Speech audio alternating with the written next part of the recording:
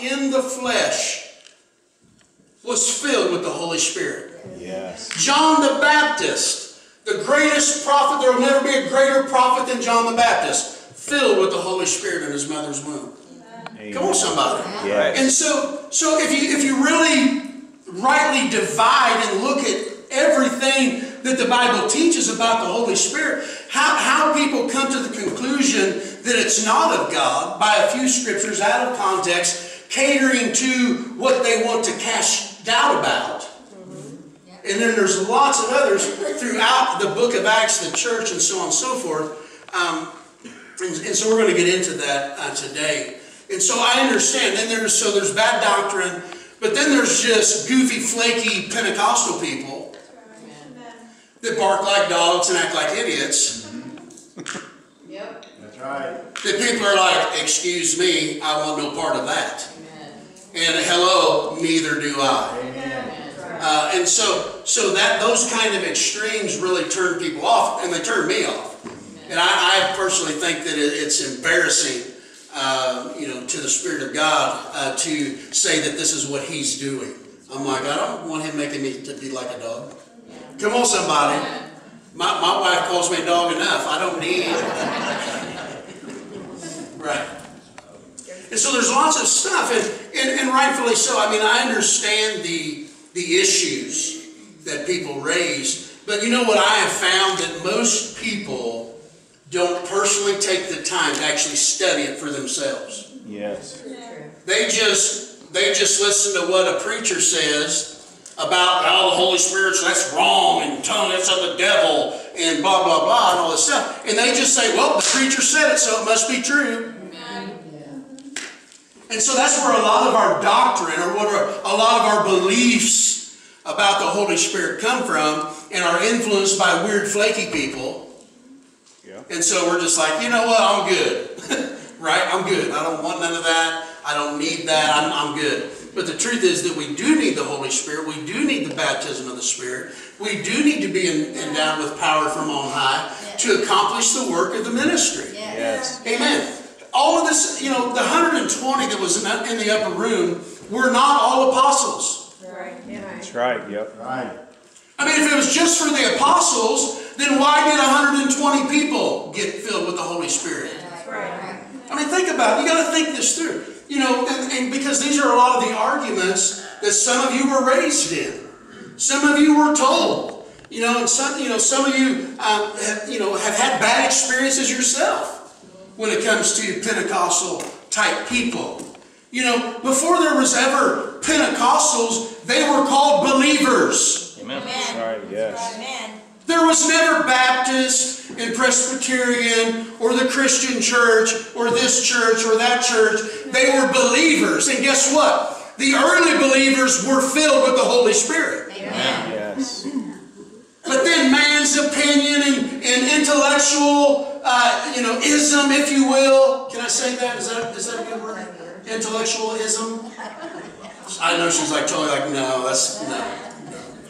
And so, so, so all of that, and, it's almost like, it's like, well, now that we have, see, we're smarter than God. We got this thing figured out. Right. You know, we're word people, you know, and so on and so forth. And so am I. And, and I kind of, I kind of figure that if the early church needed the Holy Spirit, the baptism, then I'm, I'm assuming that I need it too because I'm, I'm in pretty bad shape. Amen? Amen. And so, so that's what I want to talk to us about because that's who we are. Okay. And so I know a lot of times people they, they're looking for churches or they're visiting and so on and so forth. I mean, you're you know most of you can attest to this. Um, you'll never hear me for the most part that I know of. I'm, I'm not saying it'll never happen, but for the most part, on any given Sunday, people come here for months and months and months and never hear me speaking in tongues or you know the church getting all crazy and, and all that stuff. Am I telling the truth? And so I think sometimes people kind of go, well, that, you know, we kind of like that church. We like that church. And, and then uh, someone gives a, a tongue or, or whatever, then someone interprets it like the Bible says. Right. Amen. And they're like, well, I don't know about them tongues. What's going on? And so I, I feel that's important for us to um, just be who we are. Amen. And and this is who we are, this is who I am, and, uh, again, I love Jesus, man, and I've been saved, I've been filled with the Spirit. Uh, I do not like flaky, goofy, out of balance. You know, it's all spirit. Amen.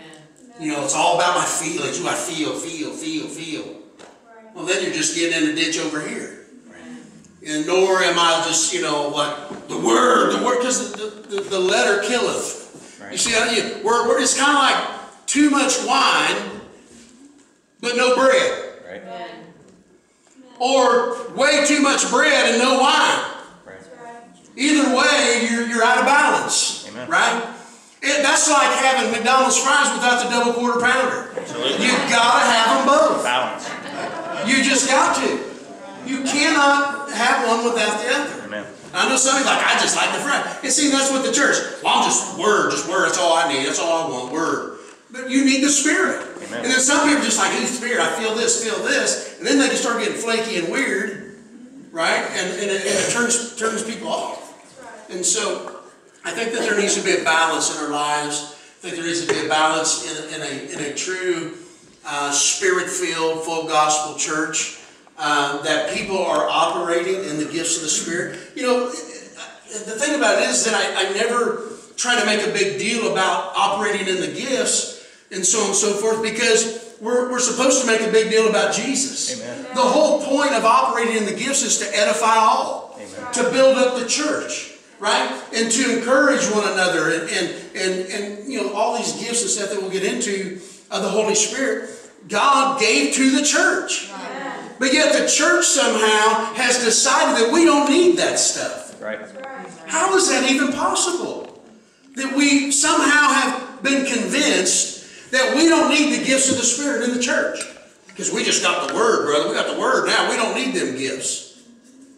Right. But yet there's been multiple times when, as I have prayed for people, and as I've, been up here on the stage and the Spirit of God is moving, He's leading, He's directing, so on and so forth. I, I, the Spirit of God would whisper to me, and He would say, Someone here's having pain in their right side. Right. And I'd be like, Okay, was that you, God? See, because it's like we think that God don't speak. Right. It's just like just His Word. God is true. Yeah. But God, God does speak to us in that still small voice, in that whisper. He leads us. And let me just say this God will never lead you, and, and I believe this to the core of who I am God will never lead you to do something that is contrary to His Word. That's right. Amen. Yes. Right, right. It's like those folks that say, God told me to divorce my wife. That's right. You are stupid.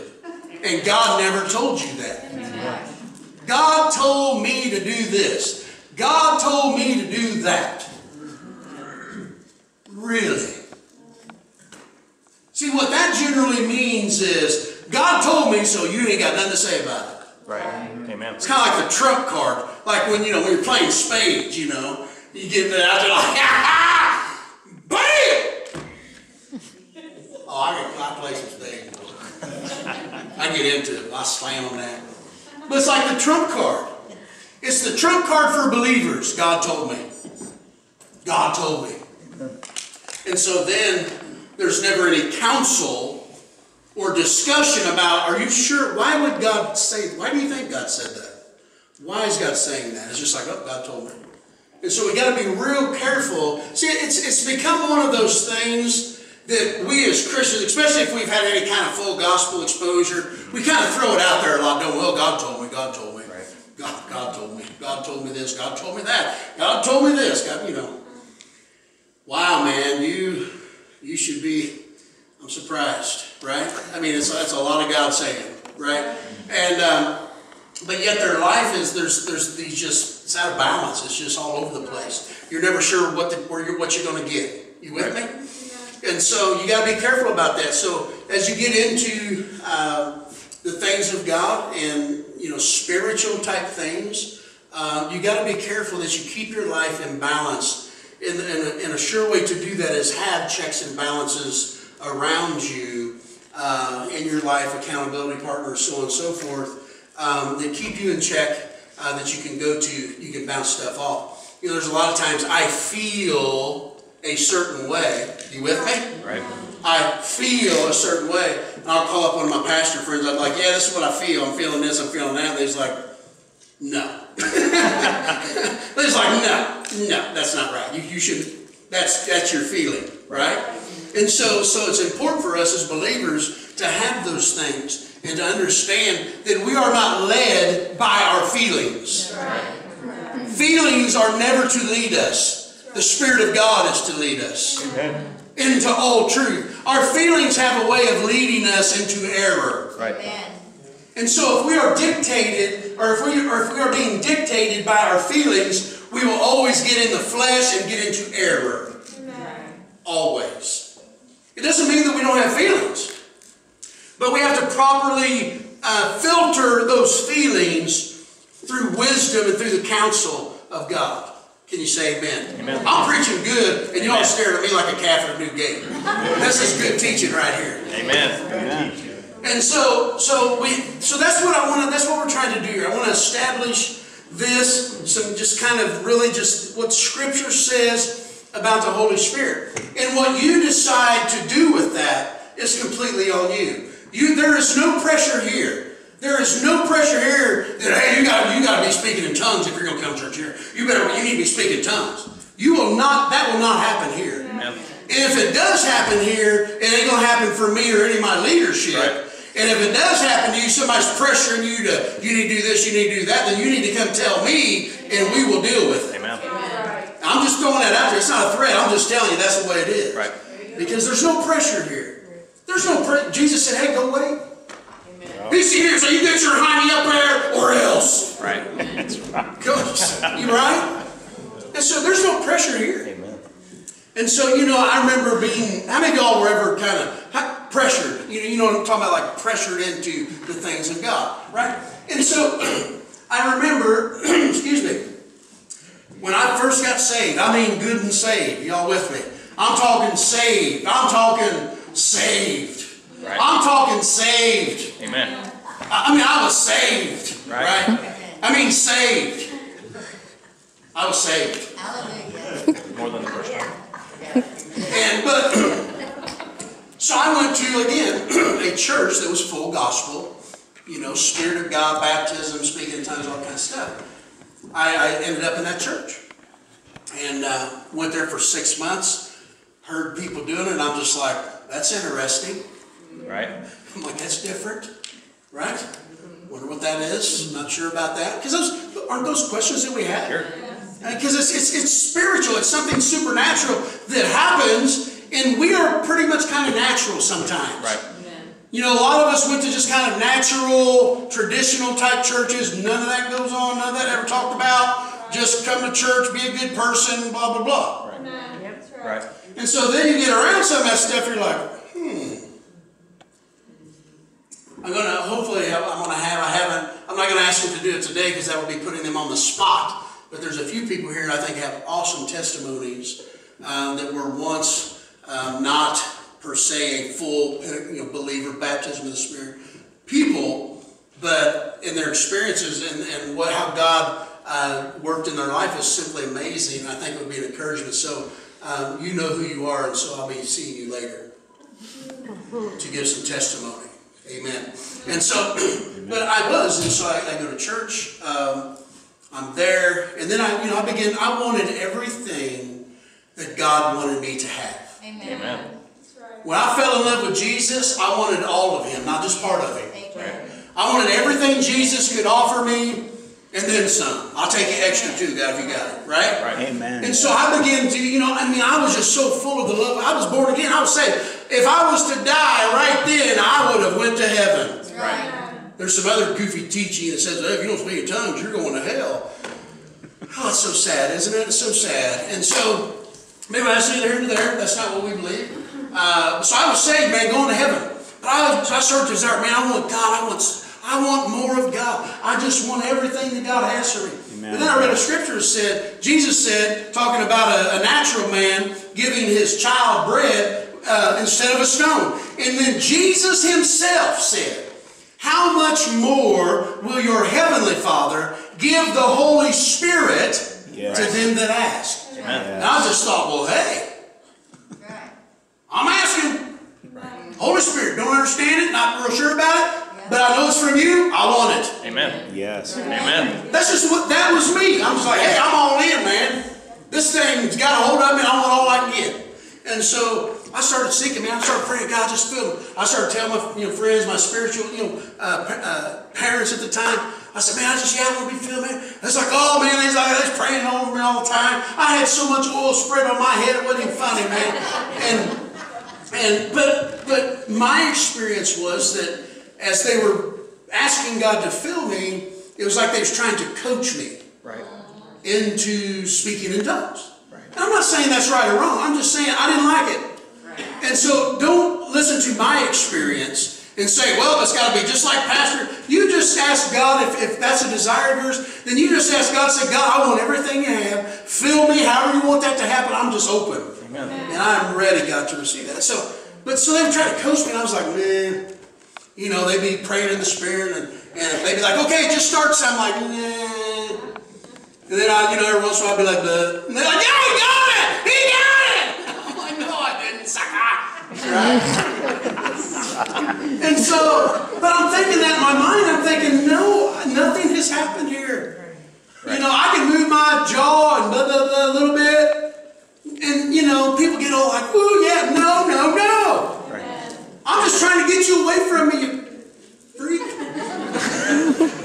Leave me alone. Come on, somebody. And so, so I remember, most of you have heard this story, but for the sake of the, the message here, I was at my home church. I've been seeking God, asking God. And here's the thing, folks. I, I really believe that this is absolute key. I believe this is key. I wasn't seeking or just trying to speak in tongues. That's right. Yes. I think a lot of people just think, oh, I want to speak in tongues so I, so I can say I did it. The baptism of the Holy Spirit is not just speaking in tongues. It is an empowerment. It is a, an infusion of God's power in our lives. It is an anointing. It is. It, it, it, it will take you further faster than you'll ever get it any other way. That's right. Yes. And so, so I remember I was, I was up there, I was praying. Here's the thing, folks, I think it's crucial. I wasn't seeking an experience, I was seeking Jesus. There you go. I wasn't seeking just something to happen to me so I could say, oh yeah, hey man, I did it too. I'm one of you. Right. I wanted God to give me everything He had. Amen. And so I remember just seeking God. I'm, I'm up at the altar and I'm just praying. I'm not praying, I'm just praying. I'm just in love with Jesus. My eyes are on Jesus. My heart was on Jesus. My thoughts were on Jesus. I'll never forget this. It was just all about Jesus. And the next thing you know, I'm on the floor. Hmm. Nobody slapped me in the head. Okay, which I'm not going to slap you in the head here. If, if, if you're one of them fallers, I'll hold you up before you fall just to be fallen. You don't have to. Listen, one of the things that irritates me more than anything is people that fall out and they get up and they're as mean as they was when they went down. Amen. Come on, somebody. Amen. Amen. Just mean. And so, you know, it's like we, I, you, you can go to services, and it's like this just service after, we're right in the middle of revival. And then we, revival's over, man, there's people marches, right? Up and down the aisle, woo, Jesus, Jesus, I all that stuff. You know, the back and forth in the church. We love Jesus, yes we did, we love Jesus, how about you? You know, then the, oh yeah, well, we love Jesus. Yes, we did. You know, all this stuff. And I'm right in the middle of it. Yeah! Woo! You know? And, and then we go to Country Kitchen, everybody's rude to the waiters. Right. How is that possible? Right. Yes. They tip 50 cents. How is that possible? How is that possible? Right. I mean, there's no there's no generosity flowing from their lives, no kindness, no goodness. Right. But boy, they're full of the Spirit. Right. I've never understood it. And so, and so, man, I was out, man. And I was in the presence of God, man. It was it was a it was a most amazing thing.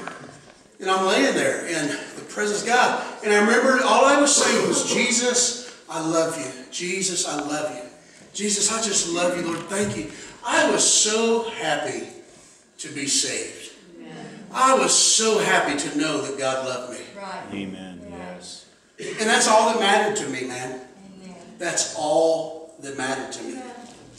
And, and so I was just in love with Jesus. I'm hanging out with Jesus on the floor, man.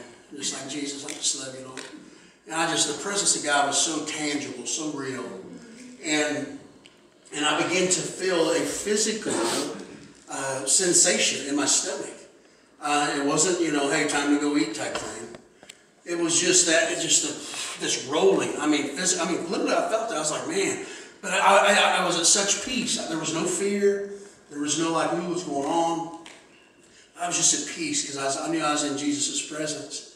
And then that, that physical thing just, it come up here and it stopped right. I mean, literally, I, I remember I was laying there, it stopped right here. And I heard this still small voice just say, open your mouth and begin to speak. And so I just opened my mouth and began to speak, and out it started flowing. And I mean, I was just flowing and flowing and flowing. And man, I just began to weep uncontrollably, and it just flowed and flowed and flowed. And so that was my experience. And ever since then, um, it's, it's not just a one-time thing. I, I'm always asking every day, God, just fill me, God.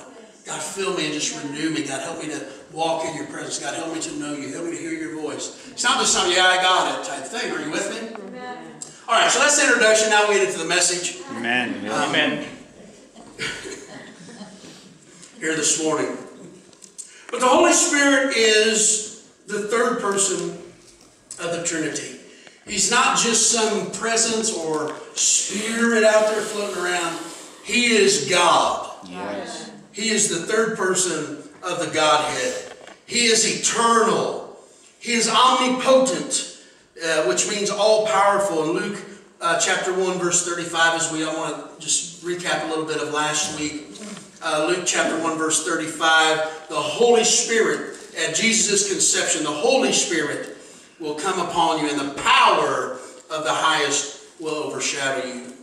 Uh, the Holy Spirit is omniscient, which means all knowing. In John chapter 14, verse 26, it says, But the Helper, the Holy Spirit, whom the uh, Father will send in my name, he will teach you all things. Yes. He will teach you all things and bring to your remembrance all things that I said to you. Uh, 1 Corinthians chapter 2, verse 10, it says, But God has revealed them to us through his Spirit. For the Spirit searches all things, yes, the deep things of God. The Holy Spirit is omnipresent, everywhere present at all times. In Psalm chapter 139, verse 7 through 10, it says, Where can I go from your Spirit? Or where can I flee from your presence? And so we see that the Holy Spirit is omnipresent. Uh, just a few other things to recap. Genesis chapter 1, verse 1 and 2, the Holy Spirit uh, was active during the creation of the heavens and the earth. Um, and the earth. Uh, in John chapter 3, verse 3 through 5, the Holy Spirit is active in the regeneration or the, the born again experience of fallen man. Uh, in Romans chapter 8, verse 11, the Holy Spirit is actively involved in the resurrection of the body. Uh, 2 Timothy 3, uh, verse 16, the Holy Spirit was active in the inspiration of Scripture. You know, the Bible says that all uh, uh, Scripture is God breathed, it is Spirit breathed, inspired. The Holy Spirit has a will, 1 Corinthians chapter 12, verse 11. The Holy Spirit has emotions, Romans chapter 15, verse 30. And so the Holy Spirit is not just an it or something. He is a person. He is uh, the, uh, the Trinity. He is God all by himself. Okay? And so, so as we see the Holy Spirit in his divinity, he's the third person of the Godhead. And he indwells the believer. At regeneration, at the at, you, are, you can't be born again without the Spirit of God convicting you of sin and of righteousness and drawing you to the Father. You can you can come to church. You can join a, a membership roll. You can be sprinkled, confirmed, whatever. You can be baptized in the Jordan River itself. But unless you have been born again by the Spirit of God, unless you are a new creation, unless old things pass away and all things become new, you have not been born again. Amen. That's right. Come on. See, it's, it's, it's, it, it is staggering how many people attempt to be religious and do quite well at it. Right. They can be religious and go through the motions and know what to say, know what to do. They can even work in the church, give in the church, support the church, but have never really truly been born again. That's right, yes. And so those people will live their entire life, right? They will live their entire life thinking that I'm a good person and I go to church and I know some Bible stories and I can quote a few scriptures, but they've never been born again. Amen. Come on. They've never had a transformation of their person, of who they are. You know, I'm not everything that I should be, but I guarantee you, I am not who I was. Amen. I am not who I was, but I am becoming new. I am a different person today than I was a year ago. That's right, yes. Come on, somebody. I'm a different person today than I was five years ago. Why? Because old things are passing away. I'm maturing. I'm growing. I'm walking closer with the Lord. Amen, yes. Amen. I'm in the Word. I'm pursuing Him. It, that just doesn't happen because it happens. That's right. It happens because there's this transformation and there's this relationship, this ongoing relationship with Jesus. That I'm convicted of sin and of righteousness. I can't just keep doing stuff. Right. And so, those folks, listen, I said it last week, I'll say it again. You go to hell coming to church here, it's your own fault. Amen. Yep. Come on, somebody, Right. because I am preaching to you the gospel. Right. You must be born again. Right. You can be baptized, confirmed, join a church, I don't care what you do, but unless Jesus Himself said, unless you be born again, you cannot enter the kingdom of God. Yes. Paul went on to expound on it. He said, Those who practice the works of the flesh are evident, and those who practice such things will not inherit the kingdom of God. That's right, yes. Amen. And so, but yet, but yet, we think because we had some experience, or we think because I, I'm a member of a church, or I got baptized when I was seven years old, Yep. I went through this, or I did this, I did these religious activities, we think we're good with God. That's right. Bible talk, Peter said this. This is what they said after he got filled with the Holy Ghost on the day of Pentecost. He preached a message. Mm-hmm. You know what he said? They said, What must we do to be saved? You know what he said? You know what the first words out of his mouth was? Let's be born again. Anybody? Want to help me out? He said, Repent Yes. and be baptized. Come on, somebody. He didn't say, Well, if you just join the church. If you want to become a member of the church and just you just want to join, sign right here. You know, just just let it tell us you'll be here. Tell us you'll be faithful. Yeah. Just join the church, that's all you gotta do. No, he said, hey, I'll tell you, want to how? Repent. Yep. Amen. Amen. Yes. See, repent is like, ooh, repent means to change direction. Right. Change direction, to change your mind, to, to be convinced otherwise. Right. Amen. And it- it's, it's staggering how many people are just locked into a life of religiousness. Yes. But the fruit of the Spirit is just like, it's just dying on the vine. It's dying on the branches. There's no life. There's no love. There's no compassion. There's no mercy. There's no forgiveness. There's no none of that. Yep. Amen. Yes. It's just this, you know, standoffish. That's not the love of God, folks. That's right. That's not the fruit of the Spirit, I can tell you that much. Come on, somebody. Right. And so, so we got to get this right. We got to get this right. We must understand the work of the Spirit of God in our life. And so God, God is moving in the life of, of believers. And so in Philippians chapter 2 and verse 5 through 8, it says this. It says, Let this mind be in you that was also in Christ Jesus, who, can, who made himself of no reputation. And so we see that. In Luke chapter 4, verse 14, it says this. It says, Then Jesus returned in the power of the Spirit to Galilee. And news of him went out through all the surrounding. So Jesus himself, here we have the Son of God, God in flesh, was filled with the Spirit. He came in the power, his power came from